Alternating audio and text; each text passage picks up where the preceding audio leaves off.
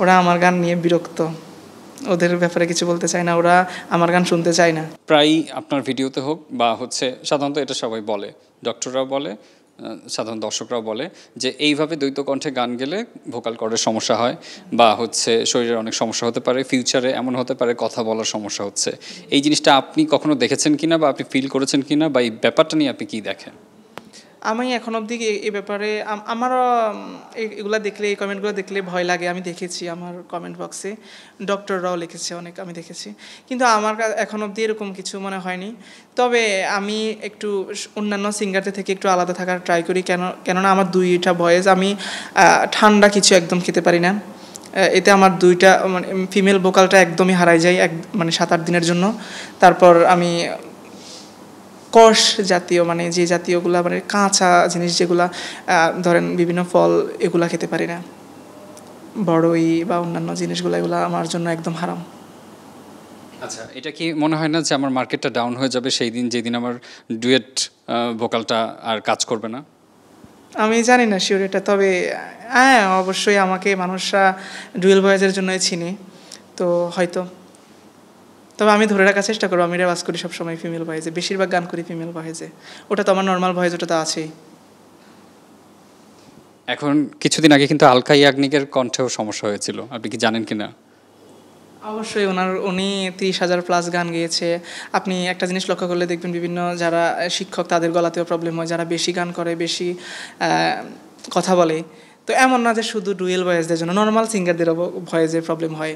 আপনি আমাদের দেশের অনেক সিঙ্গার আছে যাদের ভয়েসে অনেক প্রবলেম তাসান খান ভাইয়েরও গলায় প্রবলেম যারা বেশি কথা বলে বা বেশি গান করে আমি তো দুইটাই করি এখন জানি না ফিউচারে কি হয়।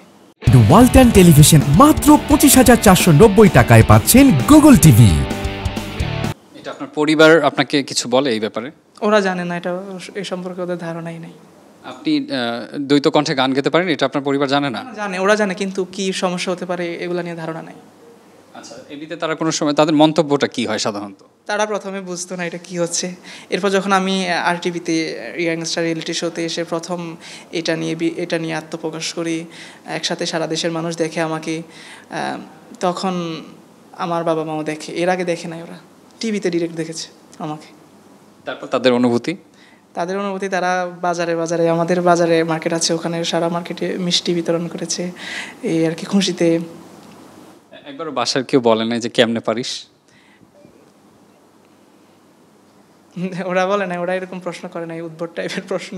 এটা অনেকেই করে কিন্তু ওদের কাছে এটা আমি আশাও করি না করলে আমার আমি ওদের সাথে ওদের সামনে গান গাই না আমার লজ্জা লাগে।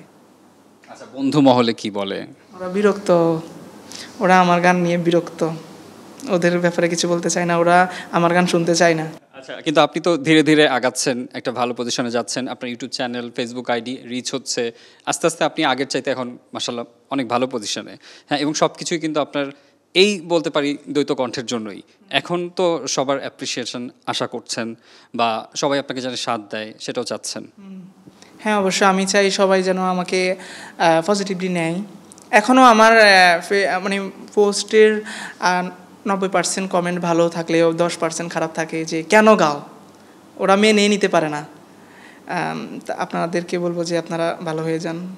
এগুলা করেন না, এসব কমেন্ট করবেন না।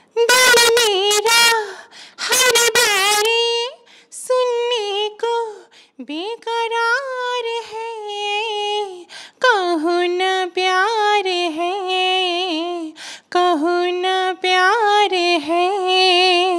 हाँ तुमसे प्यार है कि तुमसे प्यार है।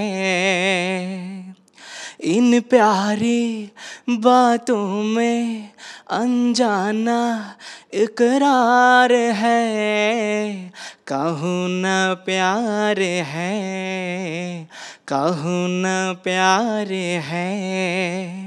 कहाँ न प्यार